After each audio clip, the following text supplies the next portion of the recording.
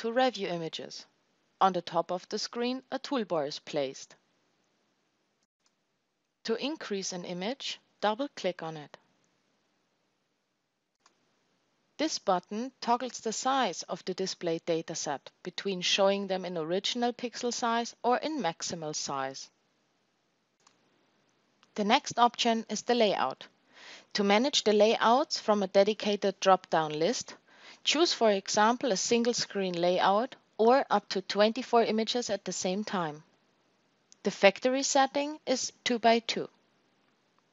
Your preferred setting can be configured at the setting option on the right upper corner at ImageCom. Choose at the drop-down list your preferred setting and click Close. The upcoming function is the paging navigation. The paging navigation allows you to navigate through the exam quick and easy. Press the buttons on the upper toolbar or use the arrow keys up and down on your keyboard. In the middle of the toolbar, we find the play or pause option, next frame, as well last frame, or the first frame. The playback speed increases or decreases the playback rate for the full workspace, starting with 10% up to 100% playback speed.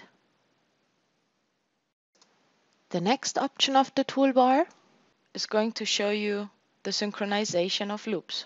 Example, comparison. Free means no synchronization. Start means all clips will start simultaneously. And align means all loops will be managed in order to start and end together. For a comparison mode, sometimes loops of a prior study have more than one heart cycle.